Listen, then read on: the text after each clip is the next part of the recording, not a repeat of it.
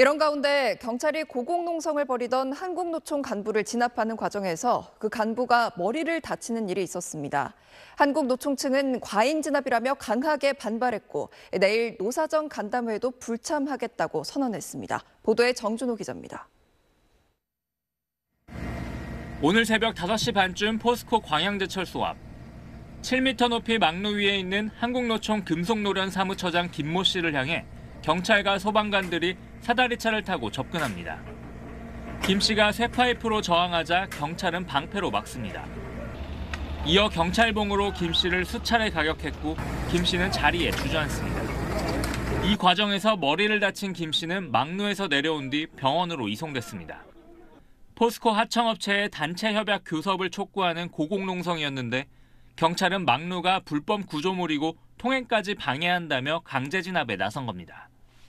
경찰은 어제 같은 현장에서 항의하던 김만재 금속노련 위원장도 연행했는데 이 과정에서 김 위원장의 목을 누르면서 수갑을 뒤로 채웠습니다.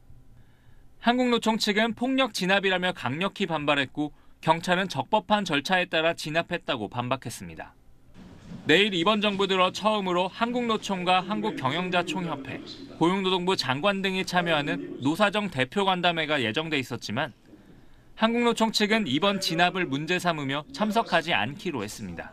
농성장의 벼랑 끝에서 노동자를 폭력 진압하는 정권에 대해 이제 어떤 기대도 없다. 이 시간 이후 한국노총은 윤석열 정권 심판 투쟁을 시작한다.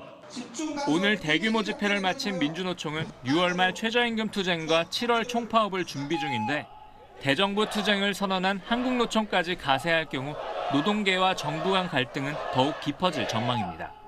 SBS 정준호입니다. 네, 안녕하십니까. 김현우입니다. 더 많은 뉴스와 라이브 이벤트를 보고 싶으시면 화면 오른쪽을 눌러서 구독해 보시길 바라겠습니다. 또 저희 SBS 앱을 다운로드 하시면 속보 알림도 받아보실 수 있습니다. 항상 저희 SBS 뉴스를 시청해 주셔서 대단히 고맙습니다.